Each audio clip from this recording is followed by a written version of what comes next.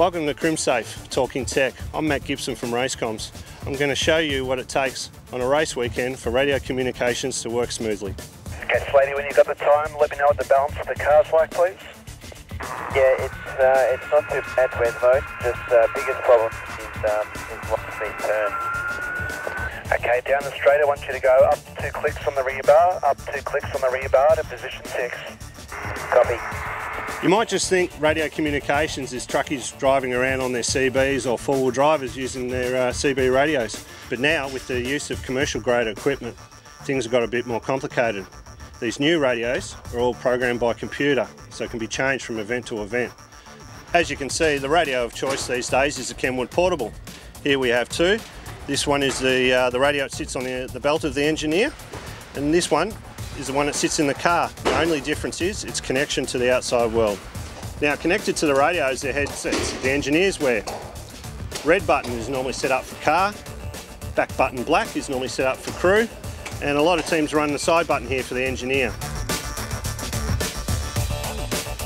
At a normal round, non-enduro event, we're probably using five to 600 radios up and down pit lane. At an enduro, that can almost double.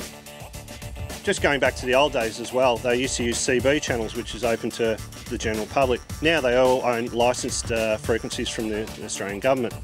Now for each car has its own frequency, so they can't hear anyone else chatting but the engineer and the driver.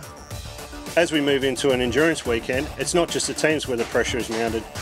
We've also got to look after twice as many helmets, twice as many radios and headsets, so anything can fail. And generally, while the race is going on, we're not relaxing, constantly monitoring and listening for anything that may pop up.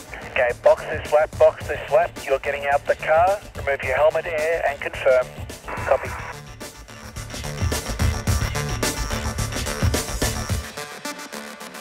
There you have it, a little insight into racing communications.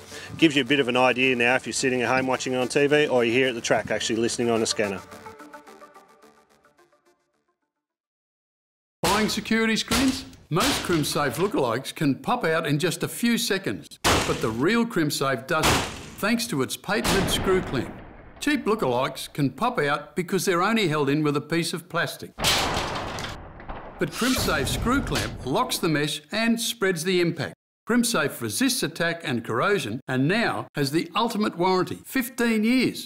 Ask for a demonstration today because if it's not CrimSafe, it's not CrimSafe.